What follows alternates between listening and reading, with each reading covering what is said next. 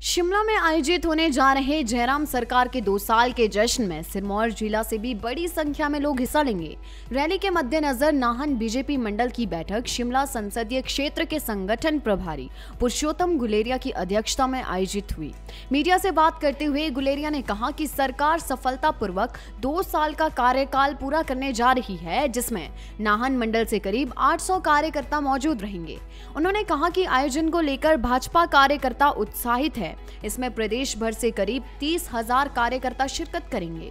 पुरुषोत्तम गुलेरिया ने कहा कि 27 दिसंबर को हिमाचल प्रदेश देश का पहला धुआँ रहित राज्य बनने जा रहा है, जिसकी घोषणा केंद्रीय गृह मंत्री अमित शाह करेंगे। उन्होंने कहा कि सीएम जयराम ठाकुर ने प्रदेश के अंतिम छोर में बैठे हर व्यक्ति की चिंता की है और हर घर में मुख्यमंत्री गृहिणी सुविधा योजना के तहत मुफ़्त सिलेंडर पहुँचाया है। भारतीय जनता पार्टी मंडल नाहन की बैठक थी और लगभग इसमें 300 कार्यकर्ताओं ने भाग लिया। 27 तारीख को हिमाचल प्रदेश सरकार के जो सफलतापूर्वक दो वर्ष का कार्यकाल पूर्ण करने जा रही है, उस उपलक्ष्य में नाहन मंडल से 800 प्लस कार्यकर्ता वहाँ पे रहेंगे ऐसा टारगेट लिया है। और मुझे लगता है जिस तरह से कार्यकर्ताओं में उत्साह है, जोश है और अपनी सरकार की जो उपलब्धियाँ, जो कि अंतिम छोर पर बैठे व्यक्ति को प्रत्यक्ष तौर पर जिनको हम देख रहे हैं, उनके कारण जो भारी उत्साह है, इस 800 से कहीं हम ज़्यादा संख्या नाहन मंडल से शिमला के ऐतिहासिक रिज मैदान पर 27 तारीख को पहुंचाएँगे।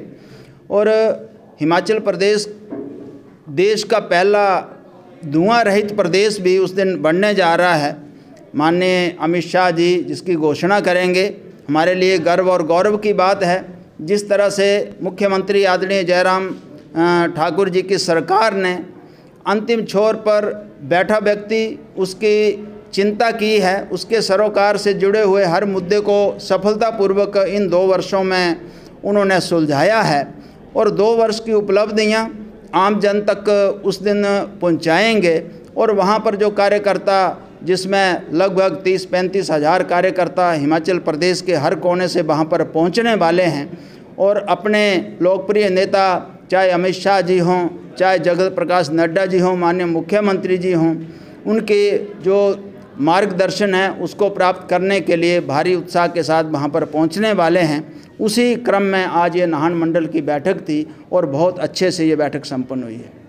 लाइफ टाइम्स टीवी के लिए नाहन से सतीश शर्मा की रिपोर्ट। लाइव टाइम्स टीवी के फेसबुक पेज को लाइक करें और यूट्यूब चैनल को सब्सक्राइब करना मत भूलिएगा।